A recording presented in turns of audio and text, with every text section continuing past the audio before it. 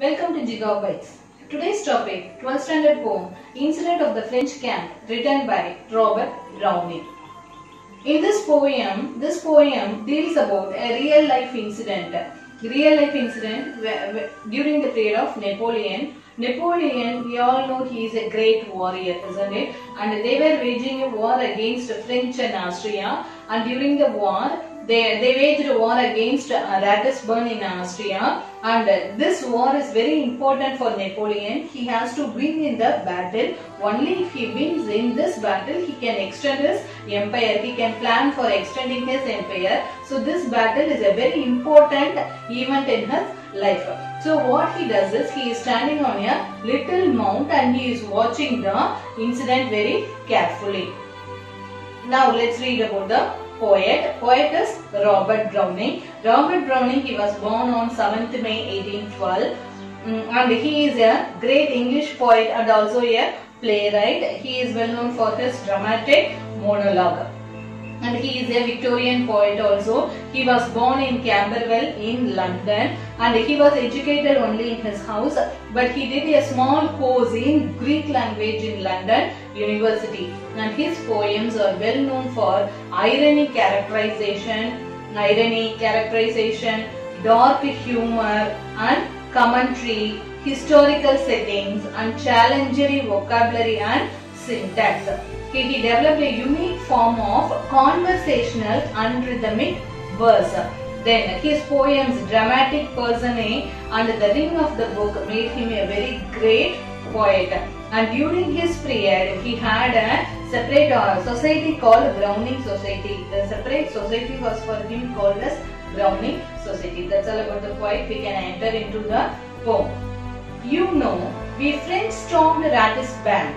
You know, you here it refers to the readers. The poet is calling the readers and he is uh, trying to bring the attention of the readers. Readers would attention at the Kondore try We French stormed Ratis- Ratisbon. French people, we French soldiers, we stormed. That means here attack. We made a violent attack towards Ratisbon.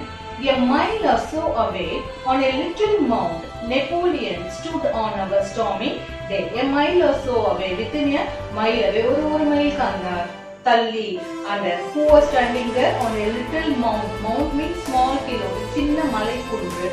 So அந்த mound மேலே Napoleon was standing on our storming day why here they are referring storming day means they are waging war isn't it so there will be lot of gun shots bomb blast so the place is fully filled with smoke and so they are calling it as storming day அந்த area வந்து ஃபுல்லாக smoke cover பண்ணியிருக்கிறதுனால அதை storming டே அப்படின்னு சொல்கிறாங்க so ஒரு மாதிரி தள்ளி Napoleon was standing there with neck out thrust you fancy how Lex white arms lock behind So how he is standing with the neck outthrust கழுத்து வந்து இப்படி நீட்டிக்கிட்டு இருக்காரு he is uh, stretching his neck why because he was he is watching the um, no, he is watching the war very keenly so he is leaning his neck forward and he is keeping his uh, legs wide and he is uh, mm, he is locking his hands behind as if to balance the prone brow oppressive with its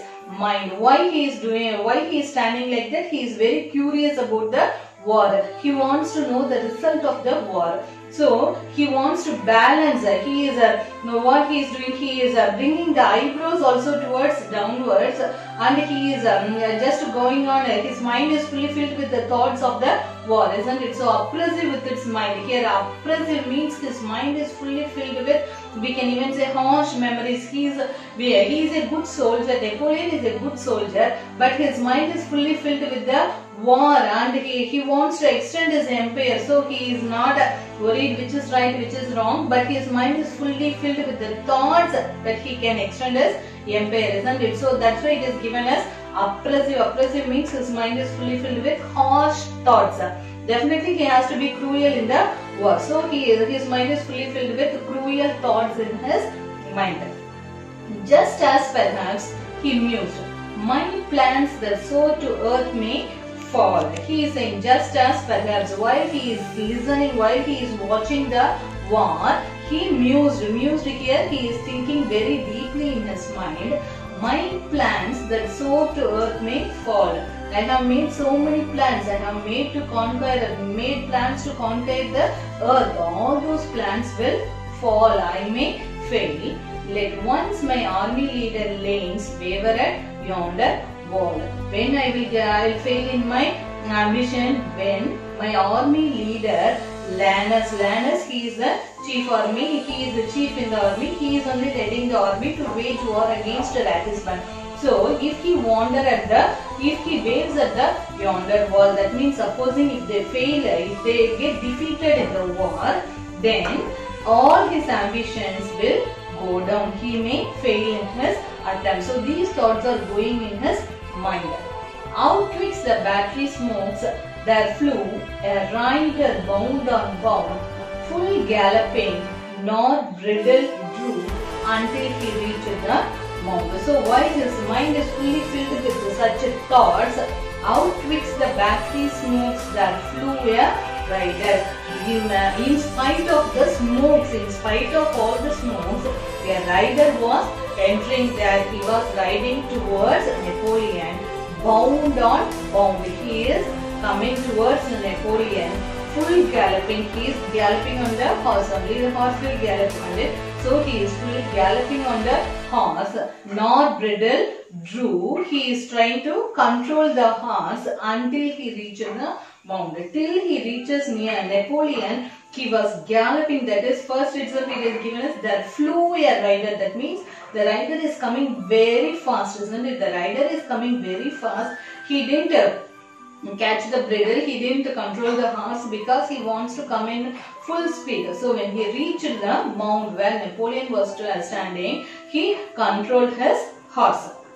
Then off there flung in smiling joy and held himself erect by just his horse mane, a boy.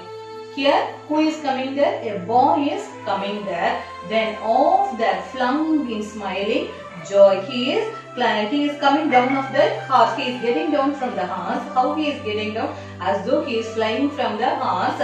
Flying down from the horse. Then off there flung in smiling joy. He is very happy and held himself erect. He is standing erect by just his horse mane. He is holding the hair of the horse. He is holding the hair of the horse and he is standing erect you could hardly suspect he is standing so erect. So you cannot suspect him, you cannot doubt him when as soon as you see him. So tight he kept his lips compressed, scans any blood came through. He is closing his mouth tightly, he keeps his lips tightly so that no blood comes out of his mouth. Such tightly he is holding his mouth. You looked twice before you saw his breast was all but shortened 2. Second time, if you see him the second time, you can find out that he was shot 2 times in his breast. That means during the war, he got gunshot in 2 places in his breast itself.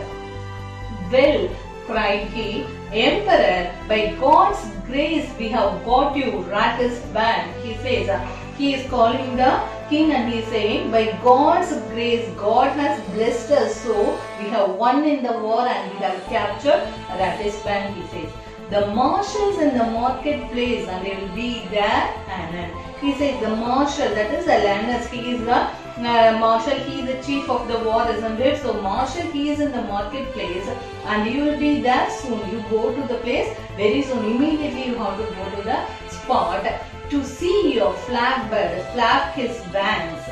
When you go to the marketplace, you can see your flag, bird, eagle bird is there. Your flag is flying high in the marketplace. If you go there soon, you can see that effect. Where I, to haunts desire perch him. He saying very proudly, it's me. I have taken the flag and I have hoisted the flag in the marketplace. I have hoisted the market, hoisted the flag in the marketplace. He says, heart's desire, with wholeheartedness. He says, the chief's eyes flash, his plan soared up again like fire. Now the soldier he had given the news that they have won the war, isn't it? So the chief immediately he became very happy. From the beginning his thoughts were filled, uh, his mind was fully filled that they somehow they have to win the war, isn't it? Only if they win in this war, they can extend his empire. Otherwise all his plans will go off. So as soon as he heard the message that they have won the war, his uh, eyes flashed, his eyes became big, his plans soared up again like fire. He started planning again so that they can extend his empire. So his thoughts again went off, went again. He again started thinking about extending his empire.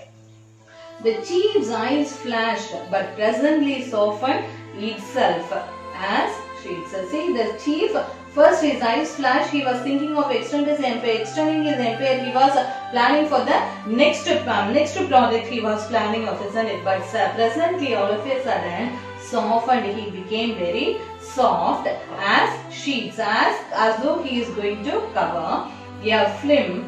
The mother eagle's eye when her, when her bruised eaglet breathes. He is trying to cover how a mother eagle when it's eaglet, eaglet means it's baby, isn't it? When it's baby, if it gets wounded, how the mother eagle will try to cover it with its feather. In the same way, he is in the same soft eye. He is having a soft eye. He changed his eye, eyes because he became very kind when he looks at the soldier. He is looking very kindly towards the soldier. He is showing the same kind, mother's kind. He is showing mother's love. He is showing towards the soldier and he is asking, You're wounded. Are you wounded? He answered, Nay. Immediately the soldier said, Nay, no.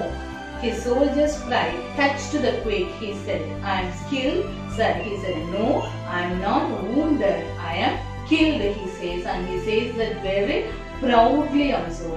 And his chief beside, smiling, the boy felt died. He is, when he says, I am killed, he says that proudly when his chief was standing beside him, that is when Napoleon was standing near him, smilingly with proudness, with lot of proudness, he fell down, died. He died on the spot itself. So this poem, it describes the chivalry, gallantry, patriotism and sacrifice on the part of the young French soldier.